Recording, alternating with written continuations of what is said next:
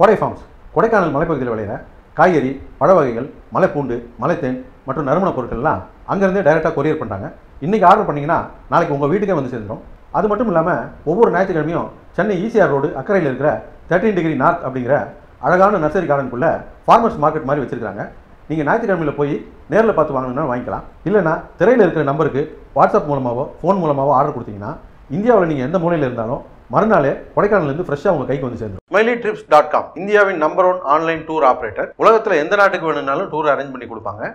Single group மற்றும் honeymoon பேக்கேஜும் arrange பண்ணி கொடுப்பாங்க. பிரத்யேக இருபத்தி நாலு மணி நேரம் தமிழ் கால் சென்டர் இருக்குது உலக அளவில் மற்றும் இந்திய அளவில் இவங்க ஃப்ரான்ச்சைஸ் கொடுத்துக்கிட்டு இருக்காங்க. மூணு லட்ச ரூபாய் இருந்துச்சுன்னா சுலபமாக சுய தொழில் தொடங்கிடலாம். ஸ்க்ரீனில் தெரிகிற நம்பருக்கு ஃபோன் பண்ணி ஃப்ரான்ச்சைஸ் எடுத்து உடனே உங்கள் சுய தொழிலை தொடங்கி welcome to Tamil talkie start net இன்றைக்கி நம்ம திரை விமர்சன நிகழ்ச்சியில் இயக்குனர் ஆடம் மின்காடு இயக்கத்தில் வெளிவந்திருக்கிற காட்ஜிலா விஸ் காங் படத்தை பற்றி பார்க்கணும். காட்ஜிலா விஸ் காங் இந்த படத்துடைய கதையை பற்றி பார்த்தோம்னா இந்த படத்துடைய கதையை பற்றி என்னத்தை பார்க்குறது? இந்த படத்துடைய ட்ரைலர் தான் ஊரே உலகமே பார்த்துட்டிங்களே. இந்த ட்ரைலரில் என்ன கதை இருந்துச்சோ அதுதான் இந்த படத்துடைய கதை. அதை தாண்டி ஒரு அதிலே ஒரு எழுபத்தஞ்சி பர்சன்ட் கதை வந்துருச்சு. அதை தாண்டி ஒரு இருபத்தஞ்சி பர்சன்ட் கதையை யோசிச்சிருக்காங்க அதுதான் ரொம்ப கேவலமாக இருந்துச்சு. என்ன இந்த பழைய படங்கள்லாம் கதையை பார்க்க வர போகிறாங்க விஷுவல் எப்படி இருந்துச்சு அப்படின்னு பார்க்க தான் ஜனங்க வரப்போகுது. அப்படின்ட்டு இந்த படத்தை எடுத்திருக்காங்க. விஷுவலாக பார்த்தா ரொம்பவே பிரமாதமாக இருக்குது இந்த படம் அப்படின்னு சொல்லலாம். ஜனங்க எதை எதிர்பார்த்து வந்தாங்களோ அது இந்த படத்தில் இருந்துச்சு அப்படின்னு சொல்லலாம். என்னதான் இருந்தாலும் இந்த போன கிங்காங் வந்துச்சு இல்லையா? அதில் இருந்த அளவுக்கு ஒரு எமோஷனலான காட்சிகளோ ஒரு அழுத்தமான கதையோலாம் இந்த படத்தில் கிடையாது. மசாலா படத்துக்கு இது போதும் அப்படின்னு நினச்சிட்டாங்களே நம்ம தெரியல.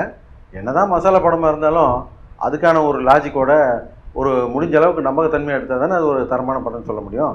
அந்த அளவுக்கு இந்த படத்தை சொல்ல முடியாது. இருந்தாலும் இந்த படத்துக்கு ஒரு மிகப்பெரிய எதிர்பார்ப்பு இருந்தது. அந்த எதிர்பார்ப்பு என்னடான்னு போய் தேட்டரில் பார்த்தா ஊரில் இருக்கிற அத்தனை தேட்டரில் இந்த படத்தை தான் போட்டு வச்சுருக்காங்க. ஏறக்குறைய எல்லா தேட்டரும் நெருக்கி ஹவுஸ்ஃபுல்லாக தான் இருக்குது. அவ்வளோ பெரிய எதிர்பார்ப்பு இந்த படத்துக்கு. கொரோனாவுக்கு அப்புறம் இவ்வளோ பெரிய கூட்டம்லாம் யாரும் எந்த தேட்டருக்காரங்களும் எதிர்பார்த்துருக்க மாட்டாங்க. அவ்வளோ பெரிய கூட்டம். ஏன்னா கடைசியாக வந்த மாஸ்டருக்கு மட்டும்தான் பெரிய கூட்டம் வந்திருந்தது. அதுக்கப்புறம் வந்து எந்த தமிழ் படத்துக்குமே கூட்டம் வரல. எல்லாருமே நினச்சிக்கிட்டு இருந்தாங்க. கொரோனா பயத்தில் தான் ஜனங்க தேட்டருக்கு வரல அப்படின்னு எல்லோரும் நினச்சிக்கிட்டு இருந்தாங்க. நாங்கள் உள்பட அதுதான் நினச்சிக்கிட்டு இருந்தோம். ஆனால் பார்த்தா மலையாள படங்களும் தெலுங்கு படங்களும் வந்து மெட்ராஸில் ஹவுஸ்ஃபுல்லாக ஓடிக்கிட்டு இருக்குது. கடைசியாக பார்த்தீங்கன்னா வந்த ஜதிரத்னல் உள்பட தேட்டர் ஹவுஸ்ஃபுல்லாக போய்கிட்டு இருக்குது. நாலு கோடி ரூபாய்க்கு எடுத்த படம் நாற்பது கோடி ரூபா ஃபஸ்ட் வீக்கில் கலெக்ட் பண்ணிடுச்சு அப்படின்னு சொல்லிட்டு இருக்காங்க. மிகப்பெரிய சூப்பர் ஹிட் படமாக இருக்குது. ஆனால் தமிழ்நாட்டில் தமிழ் படங்கள் மட்டும் ஹவுஸ்ஃபுல்லாக மாட்டேங்குது. என்னடா அப்படின்னு உட்காந்து கபாலத்தில் உதிச்சதை வச்சு யோசிச்சு பார்த்தா இந்த கொரோனா லீவ் வந்துச்சு இல்லையா? அந்த லீவில் உட்காந்து இந்த ஜனங்க பூரா அத்தனை ஓடிடிக்கும் பணத்தை கட்டிவிட்டு அத்தனை ஓடிடியிலேருந்து மற்ற லாங்குவேஜிலேருந்து நல்ல நல்ல படங்களை பார்த்துக்கிட்டு தமிழ் படத்து மேலே கெட்ட கோபத்தில் உட்காந்துருக்குது இவ்வளோ நாளாக இவங்க நம்மளை ஏமாற்றிட்டு வந்திருக்காங்க. இவங்களை சும்மா விடக்கூடாது அப்படின்ற கோபத்தில் உட்காந்துருக்குது அதுதான் இந்த படங்கள்லாம் வந்த பிறகு தமிழில் இனி நல்ல படமே எடுக்க மாட்டாங்க. இவங்க வாய்ப்பே கிடையாது அப்படின்னு சொல்லிட்டு தமிழ் படத்துக்கு போகவே கூடாதுன்னு சபதம் எடுத்து வீட்டில் உட்காந்துருக்காங்க இந்த அதர் லாங்குவேஜ் படங்கள்லாம் வந்து தமிழ்நாட்டில் சக்கப்போடு போடுறத பார்த்தா இனி தமிழ் படங்கள்லாம் ஓடணும்னா கொரோனா கிரான்னு பேசிக்கிட்டு இருக்கிறதுலாம் வேலைக்காத வேலை. இனி தமிழ் படம் ஓடணும்னா நல்ல படம் எடுக்கிறத தவிர வேறு வழி கிடையாது. ஆ? பார்த்தீங்களா நல்ல படம் இருக்குதாம்மா தமிழ் படத்தில்? இவங்க என்ன வெஜிடா இல்லைன்றாங்க?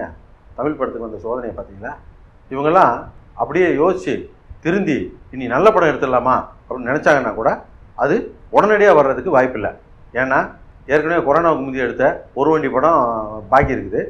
இப்போ கொரோனா முடிஞ்சு ஒரு குரூப்பு ஷூட்டிங் கிளம்பிடுச்சு இந்த படங்கள்லாம் முடிஞ்சு வரவே இன்னும் ஒரு வருஷம் ஆயிரும். இனியுமே இவங்க யோசித்து நல்ல படம் எடுத்து வரணும்னா இன்னும் ஒரு ஒரு வருஷம் ஆகும். அது வரைக்கும் தேட்டரை காலியாக வச்சுருக்க வேண்டியதான் போகிறது மொத்தத்தில் இந்த படம் எப்படி இருக்குது அப்படின்னு கேட்டிங்கன்னா நாங்கள் ஏற்கனவே சொன்ன மாதிரி கிங்காங் படத்தில் வர்ற மாதிரி ஒரு எமோஷ்னலான சீன்ஸோ கதையோ இந்த படத்தில் இருக்காது.